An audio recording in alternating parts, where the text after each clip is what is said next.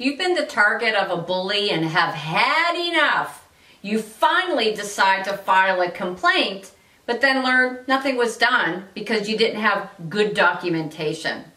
It has now become a he said, she said situation. Has anything like this ever happened to you? Well, on this episode of Coffee and Conversations about Nurse Bullying, we're going to talk about how you can document clearly so that you can actually get something done about the bullies.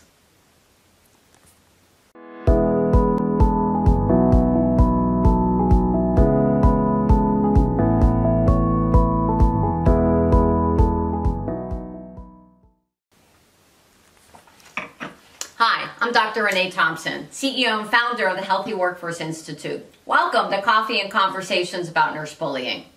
Look, dealing with a bully at work is awful, especially when they've been bullying people for years, yet, to your knowledge, nobody's done anything about it.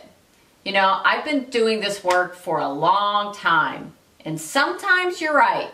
Nobody's doing anything about it. But sometimes they are, or, or they're trying. But because the documentation isn't there, it's not clear, or it's completely absent, your organization might not be able to take any action against them.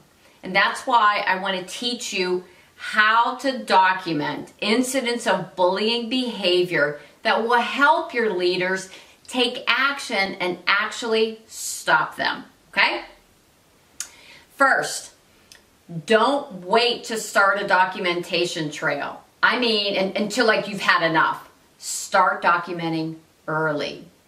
What tends to happen is that when you're dealing with a bully, documenting their behavior is the last thing on your mind. Sometimes it's because, well, you question whether or not it's really a big deal that they gave you the silent treatment or excluded you or yelled at you or criticized. Maybe you're just being sensitive. You know, other times it's because you're afraid of retaliation, okay? They will find a way to get you back. Or sometimes you don't think it's worth it because nothing will ever be done about it anyway. Sometimes you're just tired and documenting an incident with a bully is just one more thing on your list. But here's the deal documenting early. As soon as somebody treats you in a way that you consider really awful, documenting early is one of the best weapons you have against a bully because it's rare that any one incident leads to corrective action, especially when it comes to behavior but if you can show a pattern of bullying behavior over a period of time, it's more likely someone will do something about it. And that's why it's important that you actually create a documentation trail starting with that first incident. Second, be complete and succinct in your documentation. And make sure you include the following. Simple things, but you'd be surprised. A lot of times these are missing. Include the date, time, and location of where it occurred. Include any witnesses. And it doesn't matter if they document too, identifying witnesses actually lends a little bit of credibility to your story. If you can, align someone's behavior with a patient's safety, satisfaction, or quality concern. Let's say you ask someone a question about a patient procedure and they say, I'm not your mother, go look it up yourself.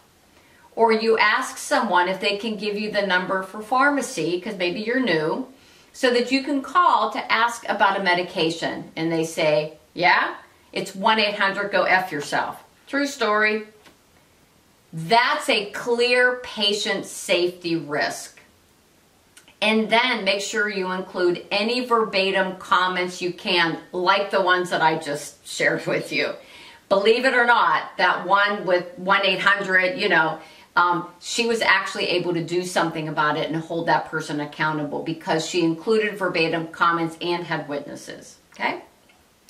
Third, make sure you're objective as possible. Okay, do not write eight pages of notes. Just include the facts. You will be more credible if you write an objective account of the incident. You know, not say, oh, this person's been bullying people for years and I've heard that they must have witnessed a murder and that's why they're still here. You'd be surprised what people say. You know, bullying happens because it can. So let's all agree to do our part to stop the cycle of bullying. We are losing really good nurses to this problem and really can no longer afford to use silence as a strategy. Document, document, and document. And then when you feel that you have shown a pattern of behavior in your documentation, then the next step will be to report it. All right, what's one key takeaway you got from this video? I would love for you to share in the comments below. And if you like this video, make sure you subscribe and share it with others. If you want more resources, tips, and strategies to help you address bullying at work, hop on over to our website, healthyworkforceinstitute.com for some help. So until our next conversation, be kind, take care, and stay connected.